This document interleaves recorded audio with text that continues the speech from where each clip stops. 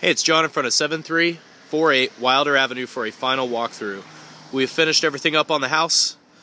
Just to recap on what we did, we installed a new roof, repainted the entire exterior, installed new landscaping and added red mulch in some areas. The house has a nice screened in front porch, which is definitely a sizzle feature. We'll take a quick pan around so you can see what the other houses look like in the neighborhood. I think this is definitely the nicest one on the street.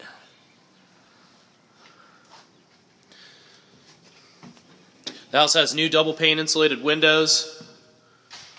It's got a big open living room and dining area with the hardwood style vinyl flooring. We installed new blinds throughout, new light fixtures.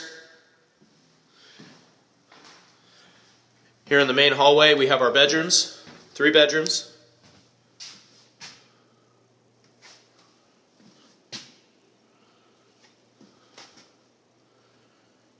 New carpet in all three bedrooms. Got a nice tub enclosure with sliding glass doors, new toilet and pedestal sink. We epoxy painted and refinished the wall tile. Going through the dining area now into the kitchen. We were able to keep the cabinets and countertops. We'll install a new refrigerator and oven range once the resident's ready to move in. And through the kitchen is the back door where it opens up into a nice big open screened in back porch. We've got a detached garage with carport cover over it. Good sized backyard and a nice storage shed as well. So a lot of storage space on this house. So it's a great home.